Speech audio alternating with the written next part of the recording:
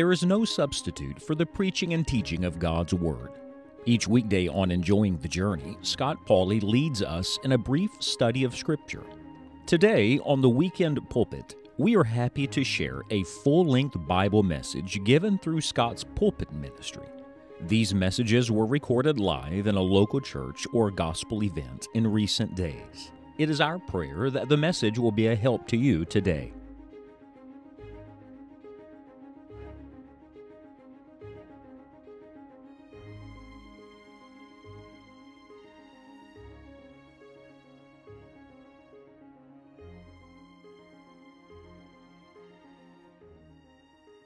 And praying that God will speak to all of our hearts. I want you to open the Word of God with me to the Gospel according to John, to John chapter number 20. John chapter 20 and John chapter 21 are the two chapters that I want us to study together today, tomorrow, and the last day that we're together. And I'm going to ask you to do something. Forgive me for using a dirty word on Sunday, but I'm going to give you a homework assignment. And your homework assignment is I'm going to ask you to read through these two chapters of the Bible every day during this meeting. Every day.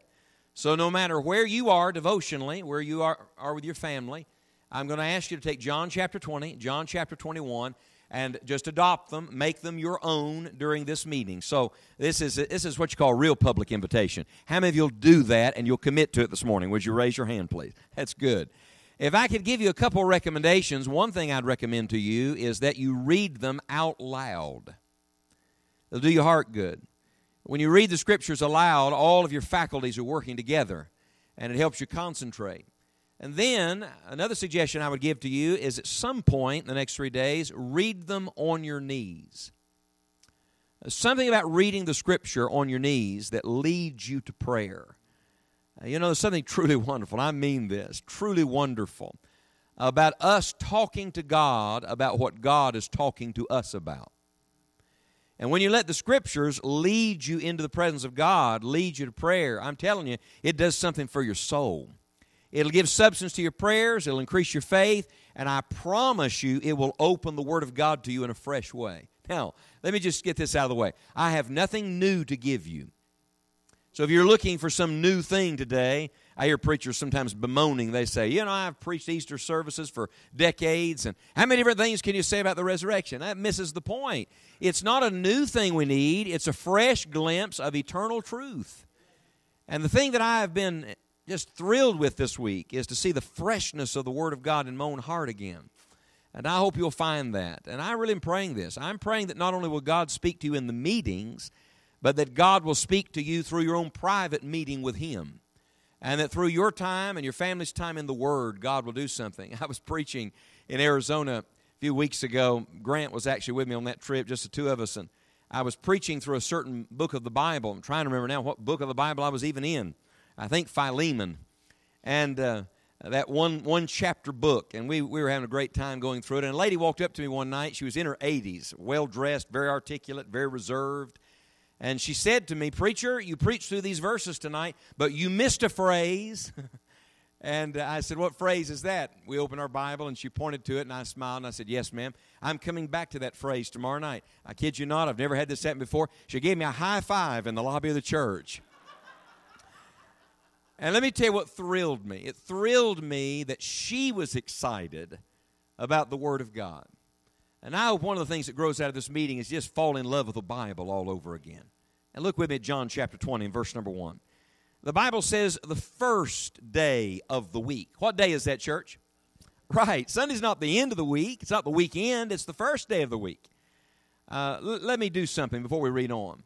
There's a lot of debate over what day Jesus died on a lot of debate. You may have taught this. I have no idea. Your pastor, I haven't discussed it. He and I may not fully agree. That's possible. You know, I learned early on don't be adamant about something that Scripture is not adamant on.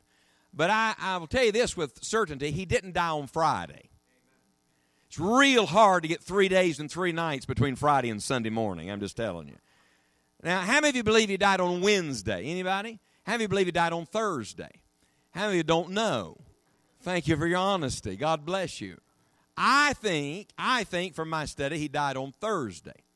But I could be wrong about that. just knowing how the Jewish day falls and starts at 6 o'clock in the evening and on and on and on.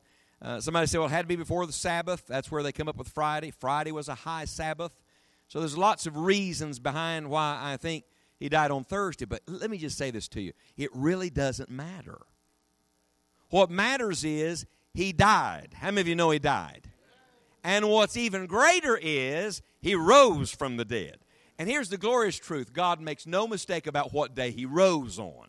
He rose on the first day of the week. So look at it. The first day of the week cometh Mary Magdalene early, when it was yet dark, under the sepulchre, and seeth the stone take it away from the sepulchre. You know, God does a lot of big things early in the morning. I said to my wife this morning, early, I was in my Bible reading this morning in Exodus. That's a long ways from the garden tomb. You know that? But I was in Exodus this morning. And I noticed something. You've probably seen it a hundred times, but I've read it many times and missed it.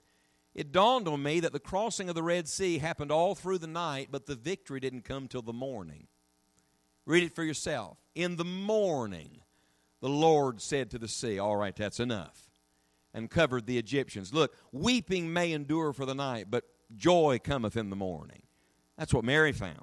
Look at verse number two. Then she runneth, and cometh to Simon Peter, and to the other disciple whom Jesus loved, and saith unto them, They have taken away the Lord out of the sepulchre, and we know not where they've laid him. Peter therefore went forth, and that other disciple, and came to the sepulchre, so they ran both together. And the other disciple did outrun Peter and came first to the sepulchre. By the way, I've got to show you this. Who's writing these words? Right, the one who beat Peter to the tomb. There's a little humor in this, you know. I beat him. I got there before he did. Uh, John, we think, was younger than Peter, so maybe that was the reason. I don't know. The Bible says in verse 5 And he stooping down and looking in saw the linen clothes lying, yet went he not in. Then cometh Simon Peter following him and went into the sepulchre. That's about like Peter, isn't it? Always barging in first. And seeth the linen clothes lie, and the napkin that was about his head, not lying with the linen clothes, but wrapped together in a place by itself. Then went in also that other disciple which came first to the sepulchre, and he saw and believed. And notice verse 9. For as yet, as yet they knew not the scripture, that he must rise again from the dead. Then the disciples went away again unto their own home. Let me just stop here for a second. Isn't it shocking? They walked with him for three and a half years. How long have you been a Christian? How long have you been a follower of Jesus? This year for me is 37 years. 37 years ago, I became a follower of Christ. On the count of three, I want you to shout out how long you've been a Christian. One, two, three. Congratulations. That's wonderful. If it was a week or if it was 50 years, it's wonderful to be a follower of Christ. Would you agree? Yet these men had been followers of Jesus for three and a half years They'd listened to everything Jesus said to them about his death, burial, and resurrection over the closing months of his life, and as yet, they still didn't understand it. It wasn't that they didn't know it factually. By the way, some of the most arrogant Christians I've ever met are the people that always win Bible trivia. Because they have all the answers. Oh, preacher, we've heard all that before. And remember what Paul said knowledge puffeth up. That's why the Bible says we're to grow in the grace and knowledge of Jesus Christ. You know why? Because knowledge can fill your head, but if grace doesn't fill your heart, you've got a real problem. See, knowledge can lift a man up. Let me tell you what grace does grace brings him low. Grace reminds him look, it doesn't matter how long you've been a Christian, it doesn't matter how many Sunday school classes you've been in. You may have taught the Bible for decades. But, friend, without a fresh experience of the grace of God every day, we're in trouble. Real trouble. And so, as yet, they knew not the Scripture, so they go home. The Bible says in Luke 24 that Peter left the tomb wondering, just scratching his head, trying to figure it out. Now, come to the end of the chapter. I'm going somewhere. Stay with me. Look at verse number 24. Jesus has now appeared to all the disciples. And the Bible says, But Thomas, one of the twelve, by the way, that phrase is only used one other time in the scriptures, and it's for Judas.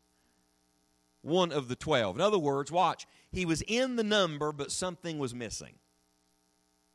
excuse me, he was in Sunday school. He was, he was in the number. Something's missing here. Is one of the twelve, called Didymus, was not with them when Jesus came. The other disciples therefore said unto him, We've seen the Lord. But he said unto them, Except I shall see in his hands the print of the nails, and put my finger to the print of the nails, and thrust my hand into his side, I will not believe. And after eight days, again his disciples were within, and Thomas with them. Then came Jesus, the doors being shut, and stood in the midst, and said, Peace be unto you. And saith he to Thomas, Reach hither thy finger, behold my hands Reach hither thy hand and thrust it into my side, and be not faithless, but believing. And Thomas answered and said unto him, My Lord and my God. By the way, I think that may be one of the greatest professions of faith in the whole of Scripture. Can I tell you something I've learned? Sometimes the people who are the biggest doubters become the strongest believers. When the victory finally comes, I went through a season of real doubt in my own life many years ago. And I want you to know when the light finally breaks through on people like that, there might even be somebody like that in this room today, filled with questions. Look, at some point, with a fresh glimpse of Jesus, God's going to take your question mark, straighten it all out, and make it an exclamation point. And you're going to be one of the greatest witnesses for Christ because the Lord's going to have given you personal victory through faith in Him. And I love Jesus' words, not just to Thomas, but for us. Verse 29 Jesus saith unto him, Thomas, because thou seen me, thou hast believed. Blessed are they that have not seen and yet have believed. Why am I starting here today? In the next hour, we're going to come back to Mary, the first one to see him on Resurrection Sunday. But I'm starting here with these men who are called out by name because I think that's where we have to start. Isn't it funny that on Easter Sunday, everybody's mind immediately goes to this where we want to see lost people saved? Let's just take a church survey. How many of you would like to see some lost people saved today? I've been praying for that. I heard specific names called in this room in prayer last night. We're praying for the salvation of lost sinners today. But could I remind you of something very important? In John chapter 20, when Jesus came out of the grave, he did not first appear to a bunch of lost people. He first appeared, watch this, to his own disciples. Wait, wait, wait. Not just to his own disciples. Watch this. He first showed up to some of the disciples that were the closest to him. As a matter of fact, there are 12 original disciples, and three of them are found, identified for us by the Holy Spirit in John chapter 20. Who are they? They are Peter, John, and Thomas. Now, that doesn't sound like the three we normally put together, does it? We would say, let's talk about the inner circle. Let's talk about Peter, James, and John. And yet, in John chapter 20, you got Peter, John, and Thomas. And here's what we love to do. Don't we love to pick on Thomas? Matter of fact, there's a little adjective we use for Thomas. Well, what's the word we always put before his name? We call him what, Thomas? There, you know him, doubting Thomas. The cynic, the skeptic, the guy who will not believe. And yet, I must say to you, as I've read, meditated on John 20 this week, it's not just Peter and John and Thomas I see. I see me. Interesting when you see yourself in Scripture, isn't it? I'm in John 20. And by the way, don't act so pious, you're there too. When you open the mirror of the Word of God, what does the mirror show? Oh, it gives you a glimpse of God, but in the light of that, it gives you a glimpse of yourself. Now, beginning in the Sunday school, in the Bible study hour, with this subject today. Maybe you'd like to write it down somewhere just to meditate on it. I'm speaking today on the spiritual need of every Christian on Easter. What is your spiritual need today? And you're going to say, Preacher, you don't even know me. You couldn't know my spiritual need. No, I don't know you, but God knows all of us. And the amazing thing is that Peter's need and John's need and Thomas's need are the same. And not only is it common to them, it's common to us. You see, everything the Holy Spirit puts in Scripture, He puts there for a reason. There, there is an application there for us, there is an implication there for us. Look, these men are different, they're very different. As a matter of fact, there's a little glimpse into each of their personalities in this chapter. Everybody, look at the person next to you for just a moment. Would you look at them? Stare at them just a second. Just gaze into their lovely eyes, would you? Some of you sat next to the wrong person. I'm sorry about that. How do you think the person looks all dressed up nice for Easter? Yes, they did well today, didn't they? Good. But you know what you're looking at? You're looking at someone very different from you.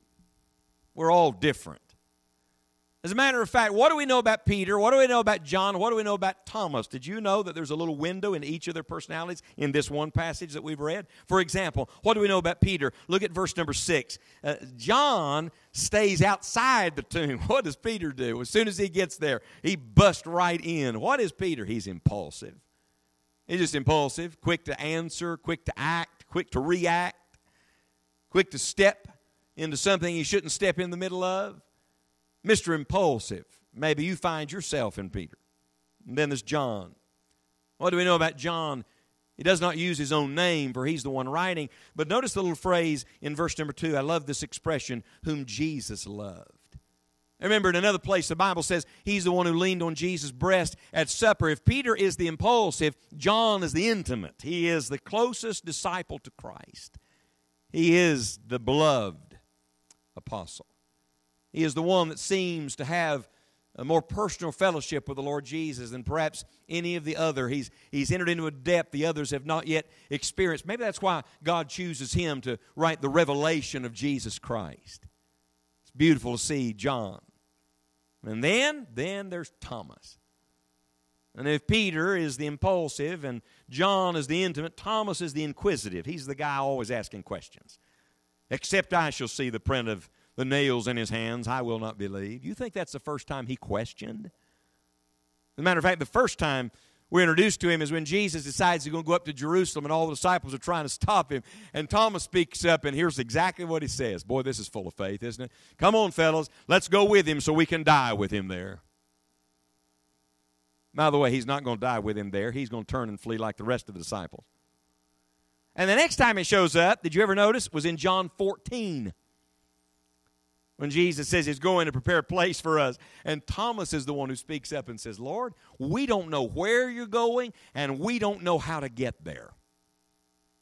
He's inquisitive, he's always full of questions. And yet, watch this. Oh, may the Spirit of God open our understanding here. Peter and John and Thomas were very different men that all had the same spiritual need. And I want to tell you on the authority of the Word of God today that though we're all different, I'm different from you and you from me, and we don't even know one another that well yet, I want you to know we all have a deep spiritual need, and it is all reflected and revealed in the experience of these disciples on the first resurrection Sunday morning. Let me give these thoughts to you. I'd like for you to write them down somewhere, perhaps, so you can think on them a little more through the course of this day. Number one, I want you to write down that God reveals what it is we're missing. What are we missing? If you had stopped any of those disciples on that first resurrection Sunday and said, What's missing this morning? You know what they would have said? Jesus' body. We've been to the tomb, he's gone. The stones rolled away, the soldiers have disappeared. And what's worse, inside, the grave clothes are there, and the napkin on his head is folded in place by itself, but his body's gone. We're missing the body of Jesus. Please hear me with your heart for just a moment. What was missing that morning was not Jesus' body, it was their own faith. As a matter of fact, I would go so far as to say to you, they represent what I would refer to as unbelieving believers. If I ask you this morning, are you a believer?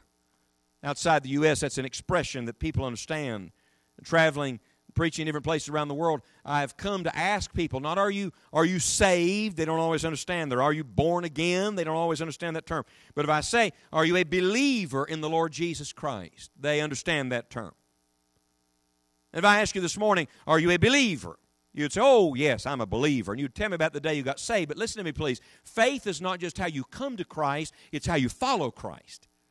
The just shall live by his faith. In other words, faith is never past tense, it must always be present tense. And I want to say to you that I think one of the great missing elements in the life of most Christians, watch please, is simple, daily, exuberant, dynamic, vibrant faith for right where they're living. As a matter of fact, in Jesus' hometown, they missed it. Do you know why we know so little about Nazareth now? It's not because it was a little agricultural village of less than 300 people in the time of Jesus. As a matter of fact, it became famous because Jesus was called Jesus of what?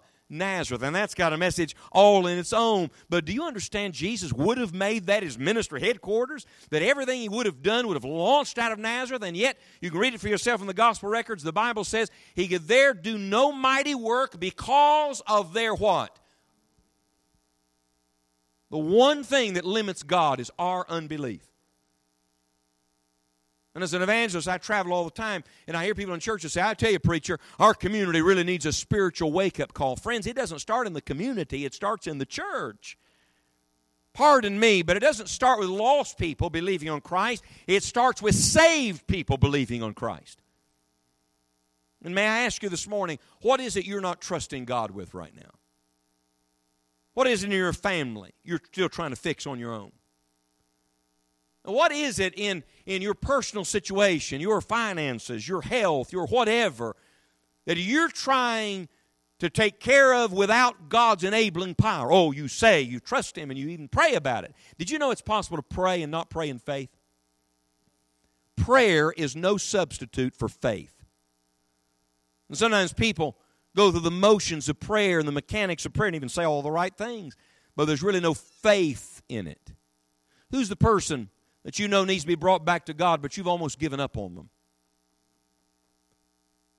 You want to see God do something mighty this week? That didn't come with the preacher. I'm sorry. That comes when God begins to move and work.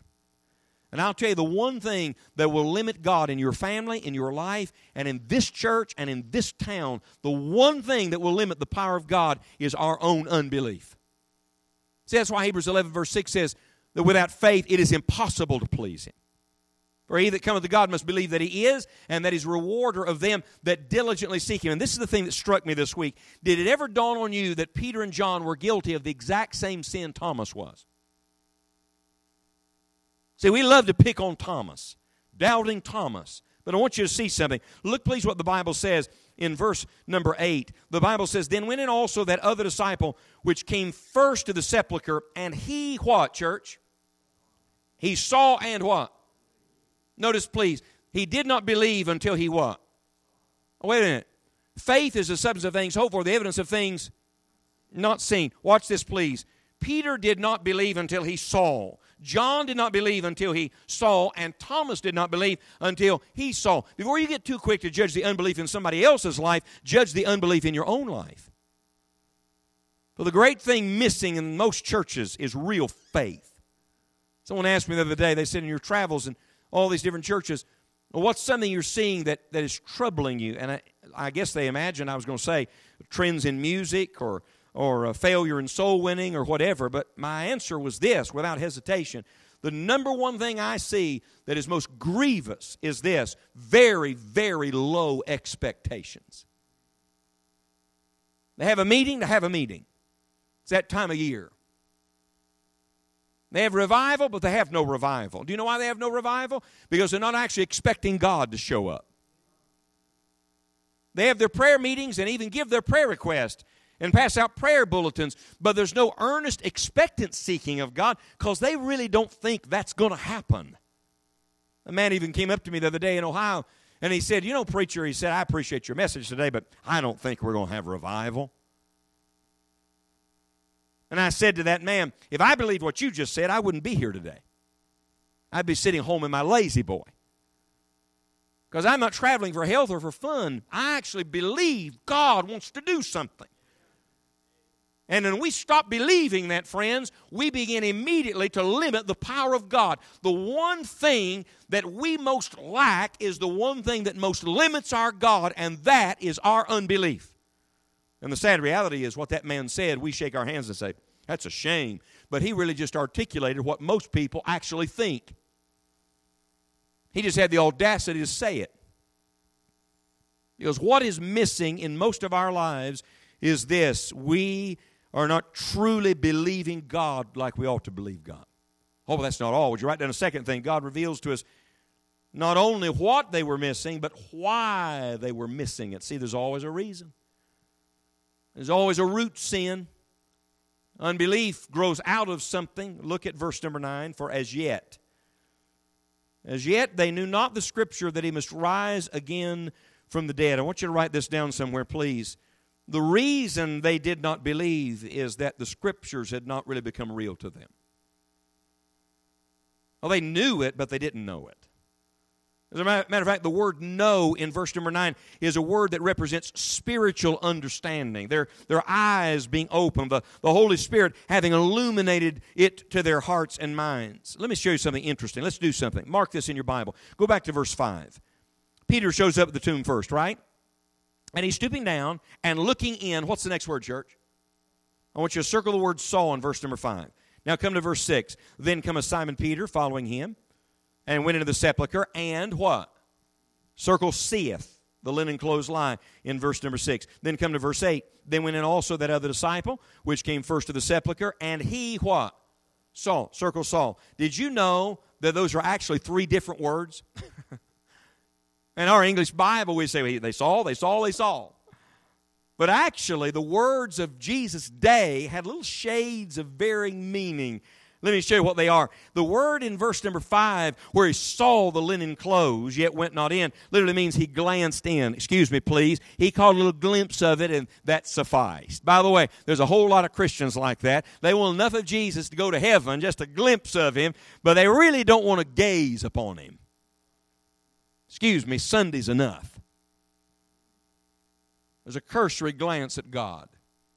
I want you to know that will never bring the, the spiritual awakening that we need. Turn your eyes upon Jesus. Look full in His wonderful face, and the things of this world will grow strangely dim in the light of His glory and grace. How about the second one? The word seeth in verse number six. It literally means examining. So Peter goes deeper. Oh, I wonder, will we go deeper with God this week? Will we go all the way in? Will we press into the presence of God? Will we come hungry and thirsty after righteousness? As the heart panteth after the water brook, so panteth my soul after thee, O God. Will we say with Moses, Show me now thy glory that I may know thee? Will we say with Paul, Oh, that I may know him and the power of his resurrection and the fellowship of his sufferings, being made conformable unto his death? In other words, a glance is not enough for me. I've got to examine this. I've got to, I've got to get personally acquainted with this myself. But there's a third word in verse number 8. It's the one connected to faith. He saw and believed. And I want you to write down that the word saw there literally means he saw it with understanding. I love this. There was a moment when the light came on. You ever had one of those moments like in the middle of a church service, your pastor's preaching or teaching through the Bible, and suddenly the light comes on? Isn't that wonderful? You ever had a moment in your private devotions when you're reading the Bible? It may even be a familiar text, and all of a sudden something jumps off the page, and the Holy Ghost waves it at you, and you say, Oh, I get that now. Isn't it wonderful? You ever have a moment when you're witnessing to somebody and they're puzzled and they're not getting it, and all of a sudden you see the change even on their countenance when the light comes on? Oh, I tell you, there's nothing like it. From a preacher's perspective, you know what I'm talking about. It's thrilling to see the Spirit of God move in hearts where they don't just give intellectual assent to it, they actually get it. They see it with understanding. I'm going to tell you the real problem here. The real problem was that they were faithless, and they were faithless because they did not fully understand the Scriptures. Listen to Romans chapter 10, verse 17. Faith cometh by hearing, and hearing by the Word of God. You know what Thomas missed? Somebody said, Yeah, he missed seeing the Lord. That's not just it. After that, the other disciples said, We have seen him. They testified to it. And he heard that, but he refused to believe that. Thought provoking, isn't it? And I'd like to ask you a personal question this morning. I know who I'm speaking to, I know who comes to Sunday school. What is it you're missing? I didn't ask how long have you been saved or how much Bible do you know. I asked this question What's the spiritual truth that's not yet really come alive in your heart to the point where it's become a part of the very fabric of who you are and affected the way you lived your life? You know, one interesting thing about John's account of the resurrection? If you compare Matthew, Mark, Luke, and John, John's the last one written. It's, it's the interpretive record, really, of the other three. But when you read John's record in John chapter 20, did you ever notice that he gives no details about the event of the resurrection? Zero. Matthew does, Mark does, Luke does, John? No. John just simply states he was gone. Why is that? Watch this, please. Because John's emphasis and the lasting emphasis Christ gives us is not simply the event of the resurrection, it is the effect that it has had upon our lives. John 20 and John 21 is all about how the resurrection of Christ, the risen Christ Himself, affected the lives of other people. And I must tell you, I'm sick and tired of Easter services where all we do is talk about the details of the event and never get down to the basic nitty gritty of life, and that is, how is that going to affect the way I live my life every day? Because we can all sit and rehash yet again and again the details of the first Easter, the first resurrection Sunday. But I want to ask you a question Are you living in faith and victory and power at this moment? Because if you're not, you're missing the very reason for which Christ rose from the dead. And that is that we would know Him deeply and intimately and walk every day by faith. And so there's a third thing I want you to write down quickly, and it is this God not only shows us what we're missing and why we're missing it, but he shows us where to start. where do you begin? Where does this begin to get corrected? And this is what God brought me to as I meditated through this chapter this week. Come to verse number 29. And Jesus saith unto him, Thomas, because thou hast seen me, thou hast believed. Blessed are they that have not seen and yet have believed. I got to stop here. Isn't it beautiful? Jesus adds another beatitude. Look at Jesus' beatitude. We know the blessed are they that hunger and thirst, and blessed are the poor in spirit, and blessed are they that mourn. But look at this one. He says, Blessed are they that have not seen and yet have believed. Would you do something? Take your pen and in the margin of your Bible, next to verse number 29, just write, That's me. Don't you love to find yourself on the pages of Holy Scripture? He's talking about you and me. Anybody in this room ever seen Jesus? I'm talking about physically. Anybody ever seen him? I don't think so. if you say you had, I'd say, oh, let's talk about that for a second. And for the record, we're all going to see him. Could be today. You want to talk about a resurrection Sunday to remember. Wouldn't it be great if, if Resurrection Sunday were the day Jesus split the eastern sky? Oh, it could happen any moment, friend. I'm going to see him as he is. I'm going to be like him even more. But watch this, please. I, I've not seen him, and yet, thank you, Holy Spirit, for this. I have believed. Not because I got more faith than Peter and John or Thomas, but because the Holy Spirit of God has worked in my heart to show me Jesus in the Word of God. And by faith, I caught a glimpse of him. And he changed my life. No wonder Jesus said, Blessed Friends, it is a blessing. As a matter of fact, there's a blessing connected to faith that is not connected to any other thing in life. You want to unlock God's greatest blessings on this church? This is a blessed church. But you want to unlock all of heaven for this church? Let this church be a people full of faith in God. You want to see God's blessing on your children and your grandchildren? Then exercise faith in God as you pray for them. Pray big prayers to a big God in faith, believing. You want to take the next step in your own Christian life? Listen, friends, that's not just doing something, that's believing God. And when you believe God, you'll do whatever God tells you to do. The next step is always a step of faith. Always. And now we come to the end of the chapter.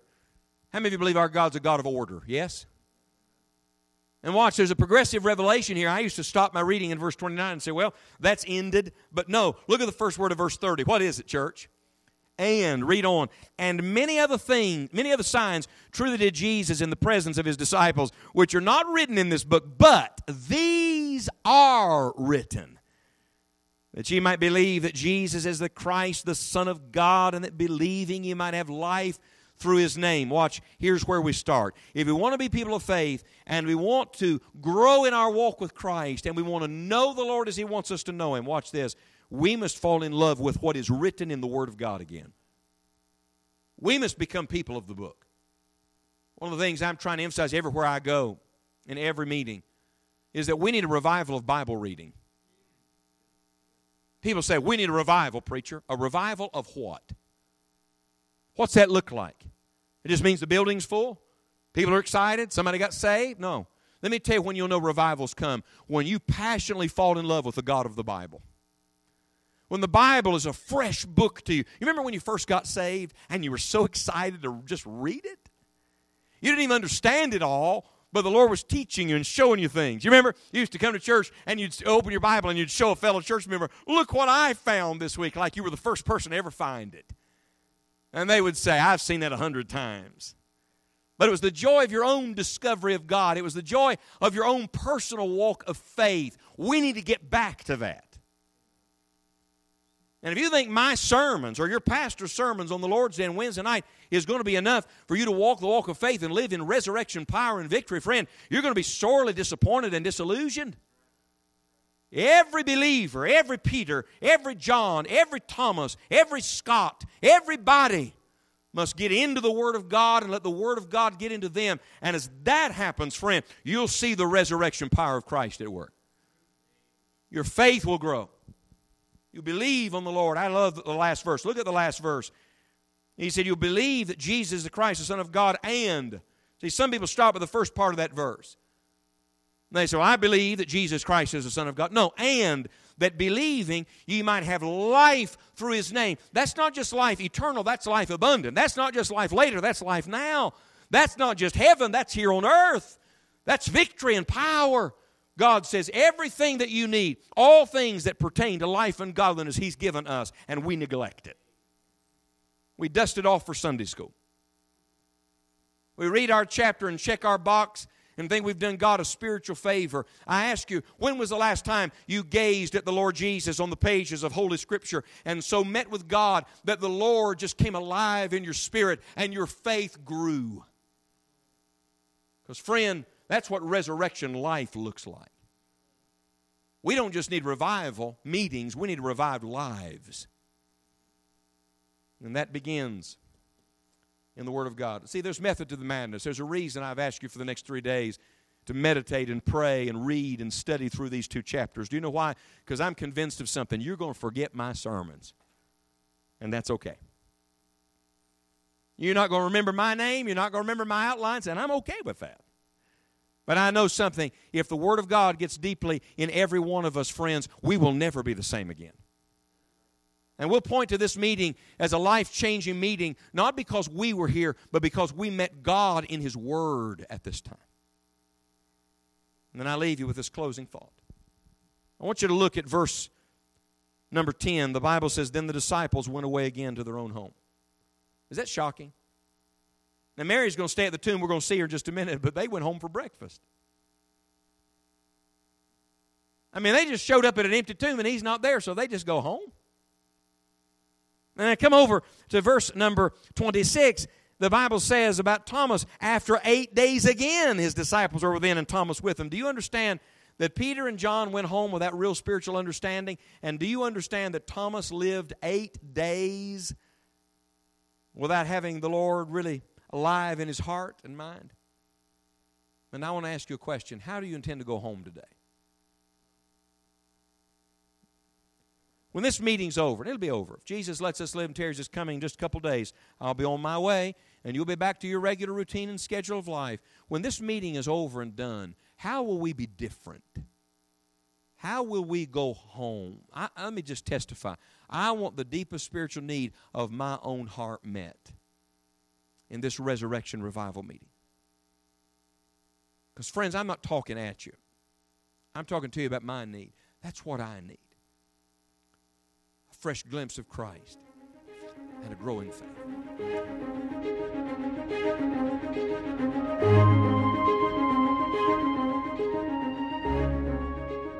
If this Bible message has been used of God in your life, or we can pray for you in some definite way, please contact us at enjoyingthejourney.org. We hope you will share the message with others who may also be encouraged by it. For additional full length Bible messages, please visit Dr. Scott Pauley's YouTube channel. Tomorrow is the Lord's Day, and we want to encourage you to be faithful to attend a Bible preaching church in your area this Sunday. Thank you for listening to The Weekend Pulpit, and don't miss Enjoying the Journey Daily Devotional Podcast each Monday through Friday.